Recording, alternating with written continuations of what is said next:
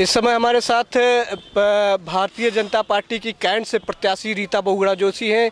तो आइए जानते हैं कि रीता जी ने अभी जो है आपने आरोप लगाया था अर्पणा यादव पर कि शराब और पैसा बांटने क्या कहें निश्चित रूप से बहुत दुरुपयोग हुआ है शासन का और रुपए का।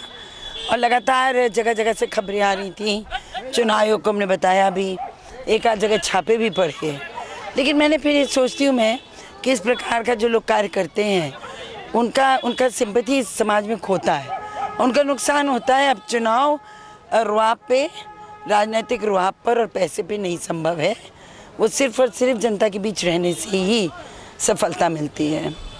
इस बार क्या क्या मुद्दा इस बार रहेगा जनता के बीच में आप बीच आप में मुद्दे जनता में रख चुके विकास विकास और विकास और उत्तर प्रदेश को निजात भ्रष्टाचार से माफियावाद से और गुंडाराज से।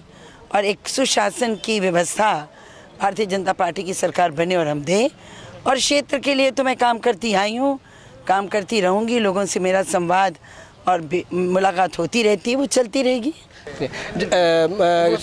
शिवपाल यादव की जो विधानसभा सीट है जसवंत नगर उस पर आज जो है उनके काफिले पर हमला हुआ क्या कहेंगे देखिए लोकतंत्र में हिंसा की कोई जगह नहीं है।